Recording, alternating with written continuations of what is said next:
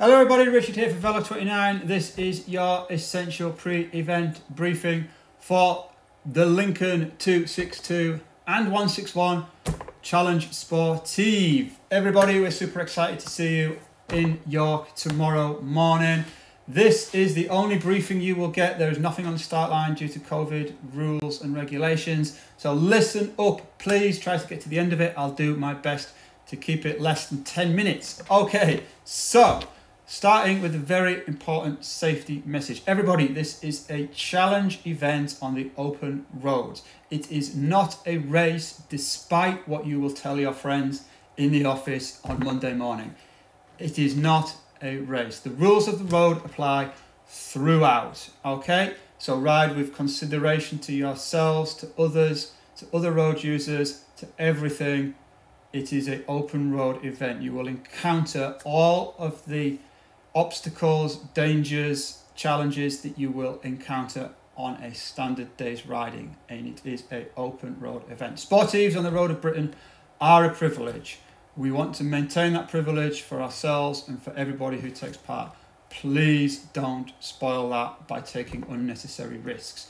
If you're thinking this is, you know, I want to get a great time, I want to go as fast as I can, and at any point you're approaching a risk and that thought is in your head and you are exceeding your normal perception of danger, stop and slow down and think again. Do not take a single risk in the aid of a fast time. It is not a race. It won't make any difference. You know, cutting off a dog, a car, anything like that, it will not make a difference. Getting back to the finish line in York, having had a great day out, and receiving this great finishing medal is the most important thing. Everybody, please do not take unnecessary risks. Okay, so you've all booked a start time, you've all received a chip pack in the post. On the back of that number is a place to write your, write your start time. Loads of people forget in the excitement of the day, so write it on. Turn up three minutes before your scheduled start time. Three minutes is perfect. You're ready to go. We can organise you we can maintain distancing. If you come early, it's not helpful, you get in the way. If you come late, we will manage getting you off as soon as we can, but you'll have to wait to the side and we will get you going at the earliest opportunity. Do your best to come at the right time. If you want to come in at the auction mat, use toilets, get coffee, that's completely fine. That's separate and in, in a space where we can maintain distancing. But everybody, come three minutes before your start time works perfectly. This goes on your handlebars. It's super important for identification.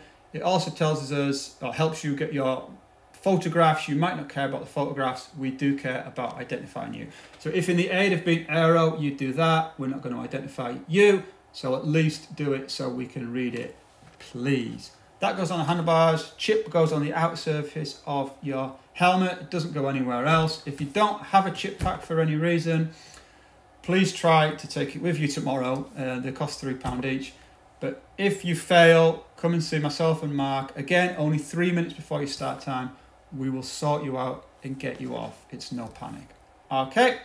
If you think, I don't care about the chip time, I just want to have a great ride, respectful of that. However, the chip tells us you've set off and you have finished. If we don't account for everybody at seven o'clock, which is the cut-off time at getting back to York Auction Mart, 12 and a half miles an hour, then it's a search and rescue operation. So if you put the chip on, so please do put the chip on, and if for any reason you don't come back to York Auction Mart and do not ride under the finish gantry, please let us know so that we can account for you safely. Ring, text, email, just let us know. Be very helpful, please.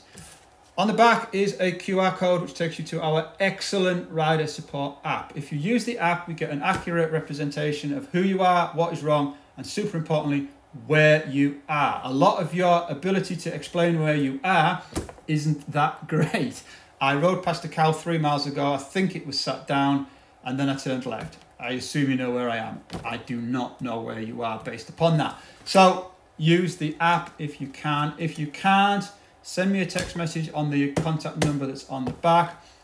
Rider number, I have ridden 30 miles on the 262, for example, and my chain snapped. Then we can get somebody to you quickly and effectively and keep you updated. If you must ring, do so using the same number, but app and text message are a more efficient way to get you help. Okay, we will always get back to you. I will always keep you updated. If you haven't heard back from me in a few minutes, feel free to get back in touch again. Okay, super. Um, the route around the first feed, so as you come into Burringham, well, the first official, there's a pop-up feed at Howden, and then you come into the first feed at Burringham in the Scunthorpe area. We do our best to find nice quiet roads. That block of the route is a little bit more busy than the rest of the route so exercise some caution in there. You know we come we come close to busy roads where wagons are coming off for the rest breaks that kind of thing. So a little bit of extra caution needed there. Expect to have more traffic especially when you're on your way back. If you're on the 262 you're going to be getting a bit tired you're going to be thinking about the feed exercise all that extra bit of caution save a bit of energy for that part there Okay, hydrate well throughout, two bottles, fill them all the feeds. Don't think I'm going to be super aero and light, I'm only taking one bottle, it won't work out. So super, you know, super hydrated, sun cream on at the start, sun cream at the feeds, or pop some in your back pocket. And everybody take two tubes, a set of tyre levers, and a mini pump. We prioritize breakdown slash medical calls, emergency medical, unforeseen mechanical, person who hasn't taken any inner tubes. We will come help you, but you're at the bottom of the list. It's a big course with a lot of riders. You may well have a long wait. So everybody pack your back pockets appropriately. Okay, when you're out there, I've heard comments like, I'm going to smash it. Um, you know, that's brilliant, but you will not ride further and faster than ever before on the same day. The distance is set, you must do the 262 kilometers or the 161. Your speed is up to you. Do not, you know, if you normally ride a sportive at 15 mile an hour and after one hour you've averaged 21 mile an hour, there's only going to be one outcome. So everybody plan your day accordingly. Get back to receive a finisher's medal. It is a finisher's medal. It is not a starter's medal. There is some prestige associated with this. So everybody don't do a don't overcook it and in, in the search of high speed. In terms of group sizes, so British cycling guidelines, which are agreed with the government, is no more than 15 people in a group. Now, an event like this, clearly there is an advantage to riding in a group and in echelons and riding through and off and that kind of thing. Do not exceed 15 riders in a group under any circumstances. If we see more than 15, we'll break you up. I ask please, if any of you are in a group and there is more than 15, take the responsibility to break it into two groups or whatever is appropriate. People will get in touch and say, I saw large groups of cyclists, it was not COVID safe, it was dangerous for other road users.